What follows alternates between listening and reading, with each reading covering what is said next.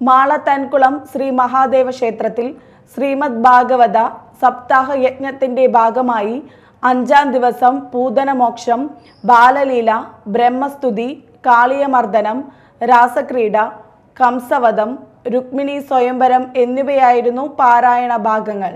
വൈകിട്ട് പ്ലാവൻമുറി വീപ്പാട്ട് മഹാവിഷ്ണു ക്ഷേത്രത്തിൽ നിന്നും യജ്ഞവേദിയിലേക്ക് രുക്മിണി സ്വയംവര ഘോഷയാത്ര തുടർന്ന് ദീപാരാധന ആദരവ് ചടങ്ങ് എന്നിവ നടന്നു.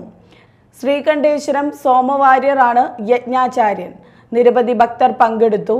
ഭാഗവത സപ്താഹം ഡിസംബർ മൂന്നിന് ആറാട്ടോടെ സമാപിക്കും. ഭഗവാൻ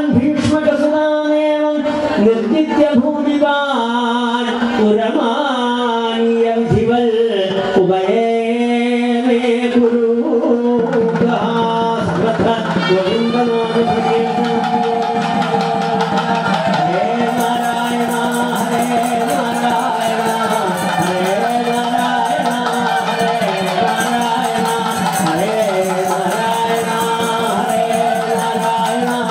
हरे हरे